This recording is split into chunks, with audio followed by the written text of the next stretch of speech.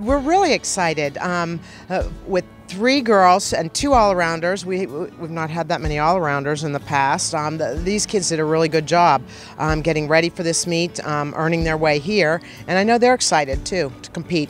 Looking forward to the experience. Um, I'm excited. My family is coming all the way from Baltimore and Philly to come see me compete, so I'm really grateful for that.